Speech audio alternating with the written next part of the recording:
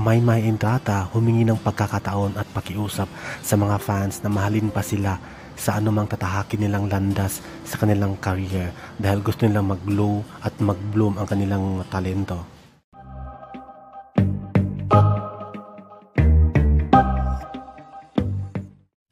Dahil nga hati ang reaksyon ng mga fans na buwagay na ang Mayward, magsulo na si Maymay, magsulo na si Edward, magbagong love team si Maymay. Kaya naman guys, ang sagot ni Maymay ay uh, sana ay uh, mahalin pa sila, tangkilikin pa sila ng mga fans kahit uh, iba na ang kanilang love team at iba na ang tatahakin nilang uh, career ni Edward.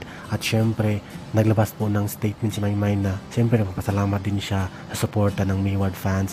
At kung ano man yung mangyayari sa Mayward love team, magsulo man sila ni Edward, ay sana ay andyan pa rin ang mga fans para umintindi at makiusap at bigyan pa sila ng chance para maging bloom ang kanilang career at uh, ma-develop ang kanilang talento.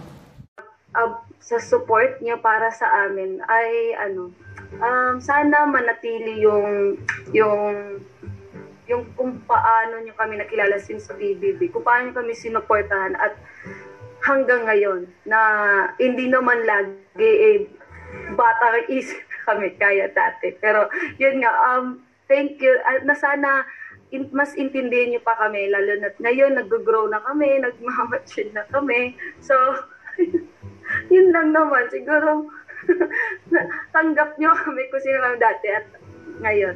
Sana gets niyo yun. Kasi,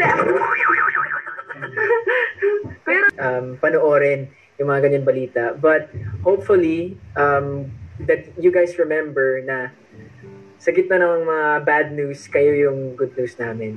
Lagi. Yung mga tweets nyo, yung mga posts nyo, nakikita namin. We don't always reply, we don't always react. Pero nakikita namin yung effort nyo at yung yung passion nyo at uh, the the happiness you give us is uh, is unending. So thank you so much, Jayan, for always supporting supporting us kahit anong mangyari.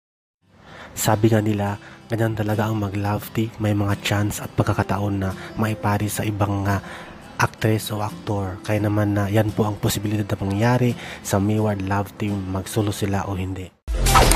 Bye.